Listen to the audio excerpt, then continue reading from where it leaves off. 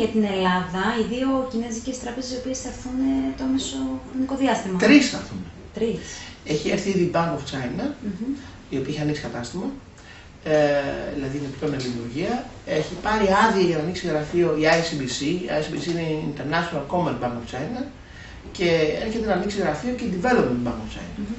Άρα έχουμε τρεις κινέζικες τράπεζες. Η μία από τις τρεις, η ICBC, είναι και η μεγαλύτερη τράπεζα του πλανήτη σήμερα, που δείχνουν πολύ μεγάλο ενδιαφέρον τη χρηματοδότηση όλων στην Ελλάδα. Γιατί όλα αυτά που συζητάμε με τους Κινέζους θέλουν χρηματοδότηση. Έρχονται λοιπόν οι τράπεζε εδώ για να χρηματοδοτήσουν αυτά τα έργα. Φυσικά, ερχόμενοι αυτέ τι τράπεζες εδώ δεν θα μείνουν χρηματοδότηση μόνο έργων κινέζικου ενδιαφέροντος, μόνο από κινέζικες εταιρείες. Μπορούν και ελληνικές μεγάλες εταιρείες να απευθυνθούν σε αυτές τις τράπεζες και να αποκτήσουν με ευνοϊκούς όρους χρηματοδότηση.